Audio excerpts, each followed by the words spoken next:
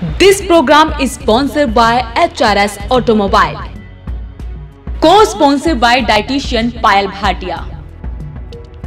नमस्कार, आप सभी का स्वागत है वॉइस ऑफ़ पानीपत में और मैं हूँ आपके साथ गरिमा तोमर भारत ने अब चीन पर पूरी तरह से डिजिटल स्ट्राइक कर दी है भारत एक के बाद एक चीन को बड़े झटके दिए जा रहा है पहले भारत ने चीन की 224 चीनी ऐप बैन कर चीन को झटका दिया और अब एक बार फिर से भारत ने यही किया।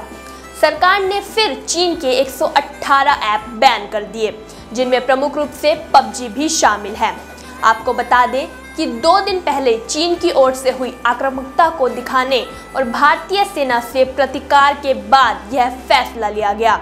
चीन से टकराव बढ़ने के बाद से अब तक भारत, चीन से जुड़े 224 ऐप पर रोक लगा चुका है, जिसमें कई क्लोन भी शामिल है।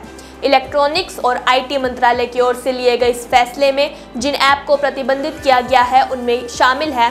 उनमें पबजी के अलावा Baidu WeChat Ludo World, chess rush, UCO you live ton ton जैसे ऐप शामिल हैं। यह फैसला सुरक्षा, संरक्षा और भारतीय संप्रभुता के लिहाज से लिया गया। मंत्रालय के फैसला अनुसार देश में मोबाइल और इंटरनेट का इस्तेमाल करने वाले देशवासियों के लिए ये एक सेफ़ गार्ड साबित होगा। ऐप पर रोक लगाने के लिए Indian cyber crime coordination centre और केंद्रीय गृह मंत्रालय पहले ही सिफारिश करता आ रहा है। हालाँकि पबजी जैसे कई गेमिंग ऐप के बंद होने से देश के कुछ युवा निराश ज़रूर हैं, लेकिन वहीं हम उन युवाओं को ये भी बताना चाहते हैं कि इंडियन वर्जन में भी इस तरह के कई गेमिंग ऐप बनाने की तैयारी शुरू कर दी है।